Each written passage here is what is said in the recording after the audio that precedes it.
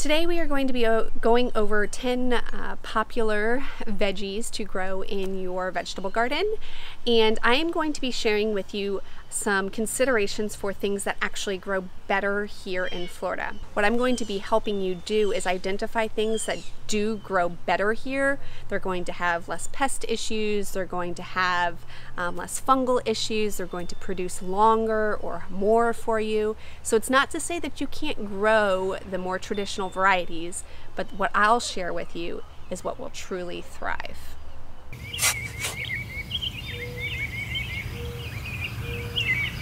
Sweet peppers are an awesome fresh garden treat to be able to harvest, but unfortunately your traditional like bell pepper or sweet pepper that most of us would think about are rather challenging to grow here.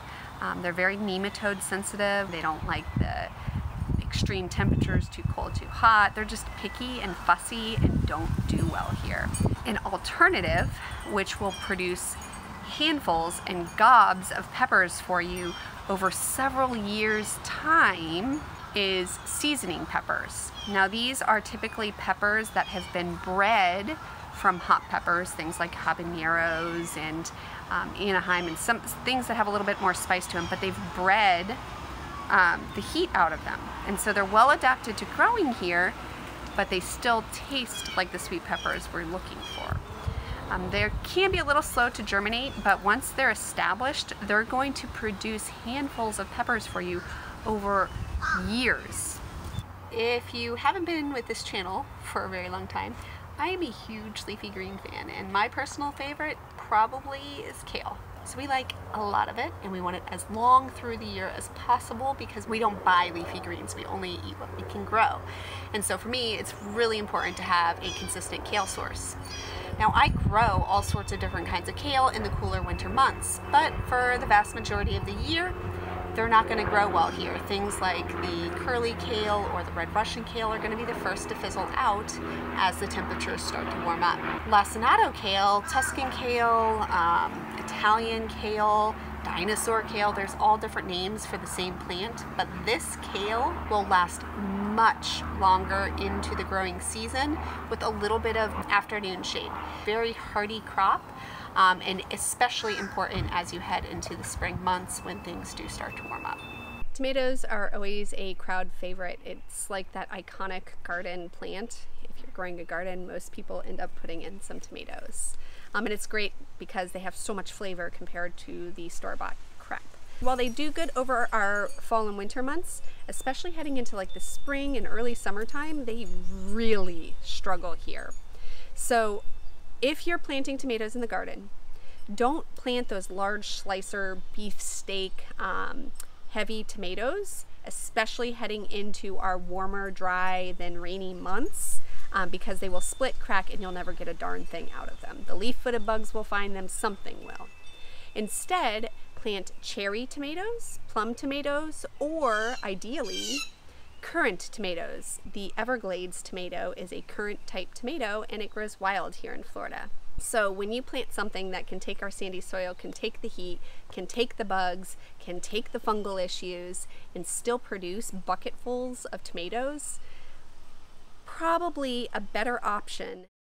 Radish is one of the fastest growing crops and is one that you'll often see in books as being like if you're new to growing, if you're gardening with kids. Uh, and it's true, but again, they don't like our heat and humidity of the summer months. So for, you know, a third of the year, we can grow tasty, delicious French breakfast radish and all of your traditional radish varieties. What do we do about the rest of the year when we're trying to meet our own needs? Rat tail radish is a fantastic alternative. Um, it is a radish that has been selected for the seed pods rather than the root. So obviously most of the radishes that we, we eat, we pull it from the ground, we're eating the root of that plant.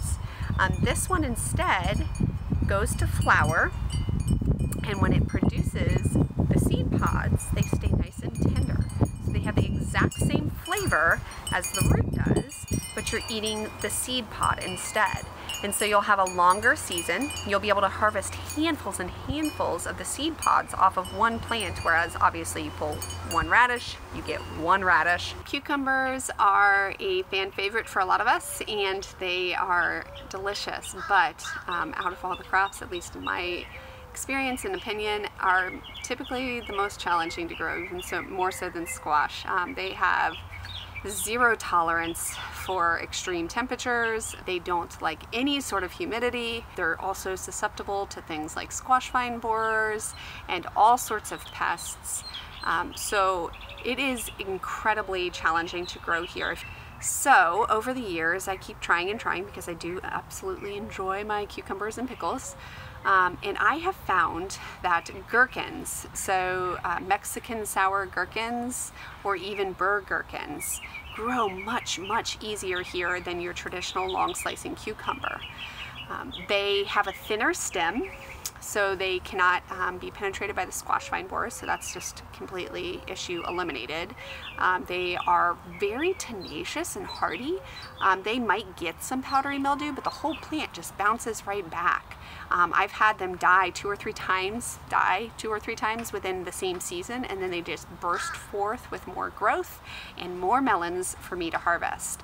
Um, so although they are small, the flavor, in my opinion, is identical. You just don't have um, the, the size or the slicing potential that you would from a traditional cucumber. I love garlic a lot. Uh, when I first started my gardening journey in Florida, that was one of the first crops I tried growing, and I probably tried for nearly two decades to grow it. Um, and every time I'd get a little bit closer, but never quite there. Uh, they like consistent, long, cool weather. Clearly, we don't have it here. So instead, it's not a perfect alternative, but garlic chives. Garlic chives have that nice garlicky onion flavor. You can chop them up and put them into soups to flavor it, um, stir fries, eggs, whatever. It's not going to have that same chunky, super, super, super strong flavor, but it's going to be a passable option for most of us. And this grows like a freaking weed here. I pulled my garlic chives out of my aunt's garden that had taken over her entire bed. Um, and so I just literally ripped them out of the ground, planted them at my garden, and I've been able to propagate it exactly like she did um, since that time.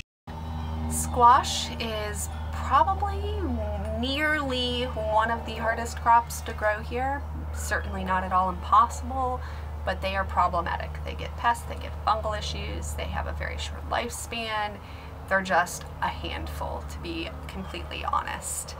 Um, I do have some tricks on how to get over some of those hurdles in a video all about squash here in Florida, but I actually have two alternatives that are even easier to grow and are better substitutes for summer squash. Now instead of planting your yellow crooked neck or your zucchini, which can be grown but are challenging, um, instead consider planting Chinese python snake bean or loofah. A lot of people completely overlook loofah as a edible option. They'll grow them for the sponges and completely miss the fact that when picked young, they are a delicious squash substitute. I think they're the closest passing alternative for a summer squash when you pick them young when they're one to maybe two inches max in thickness. They taste just like it. You chop it up, you throw it in your stir fries, you saute it and use it as a side dish, you make zucchini bread, whatever you want. It's amazing and super, super productive. The other option is a little bit more unique. It grows really well here, but it's Chinese python snake bean. Now the skin of this is a little thicker, so it's not an identical squash substitute, but they're really tasty and they taste just like it and they cook just like it. So I will happily use the um, snake bean as a squash alternative, even in the summer months. Both of them are vines, so you will have to have some space for them to crawl. If you have less space, Chinese python snake bean is going to be a better option for you. They're more compact vines. Loofah is going to take a lot more room. Spinach is a very iconic leafy green. A lot of us consume it on a very regular basis, and for most of the country, it's a nice, easy crop to grow. But it needs consistent, cool weather. Clearly, we do not have that here. Now, some of the other crops that I've talked to you about Um, you can push the limits if you're willing to deal with some pest pressure or some fungal issues or whatnot. You can still grow those foods. In my experience, especially if you're not in the panhandle, you just can't get Bloomsdale spinach, traditional spinach, to grow here. It just won't even germinate if the soil temperatures are too hot, or it will germinate and quickly die. Instead, plant Chijimisai. Chi Jimicai is a wonderful leafy green, and I am not joking or exaggerating when I say it looks just like it, it tastes just like it, and it cooks just like it.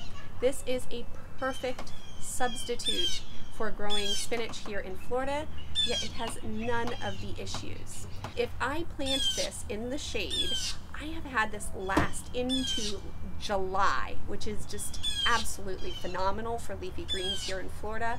Um, so make sure if you do want to have it nearly year round to plant it in shade or just a small amount of morning light. I don't know about you, but every time I buy a, uh, a stalk of celery a bundle of celery.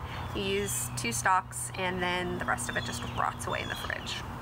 Um, celery can be grown here. It's got a pretty short window. It's long germination too. You seed in winter, it grows in early spring, and it fizzles out pretty quickly. And again, you're with that same problem. You use your couple of stalks, and then what do you do with the rest of it, right?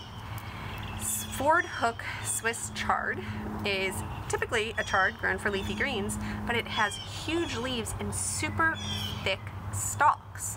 The stalk on Fordhook is exactly like celery. It's maybe slightly, slightly more bitter, a little tiny bit, but for me, I've passed it as celery on numerous occasions and nobody ever knows the difference. I will chop it up and put it in my soups. I'll do ants on a log with it pretty much anything that you're going to do with celery you can do with Fordhook Swiss chard. Um, and a bonus, you get the leafy greens in addition to the stems. And what's nice about this is it will grow for, depending on where you are in the state, the vast majority of the year, at least two thirds of the year. And you can go out there and harvest that single stalk at a time. So you're not stuck with this entire plant that you're trying to use before it goes bad. Beans are a very easy to grow, um, typically well-producing plants to grow in your vegetable garden. Most of us typically are going to immediately go towards like the green bean or string bean and most of them are grown as bush beans. Um, they are on a small plant, nice and compact. It is good for containers, but you get this flush of growth um, and variety dependent. Um, you should get reasonable yields, but then it quickly dies. Instead of planting something like that, think about planting long beans. Yard long beans are a wonderful crop for here in Florida. Now they do grow a little different. Instead of it being a nice compact um, small bushy plant, it is a vine or a pole bean. Um, so it's going to need something to climb, but as long as you have space for that, they are going to be producing much higher yields over a way longer period of time they're better adapted to um, fungal issues and bacterial issues, which are prevalent here in Florida, and they're going to produce overall better for you in our. Hopefully this short list of planting this, not that, for growing food here in Florida was helpful. If so, um, and you're interested in finding some of these more unique seed varieties, I do have a seed shop online where we ship um, and mail out heirloom seed varieties that are all curated for growing well here in Florida. So if you're interested in checking out the shop and supporting the work that I do, um, head on down below to the show notes and we will have a link there for you to check out some of these awesome heirloom seeds.